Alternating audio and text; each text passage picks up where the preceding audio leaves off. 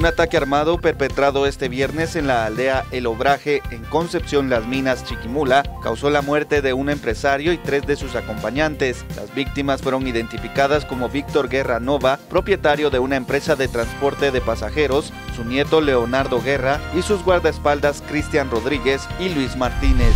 Un guardia de un camión repartidor de cerveza murió baleado este viernes en la zona 8 de la cabecera de Chimaltenango.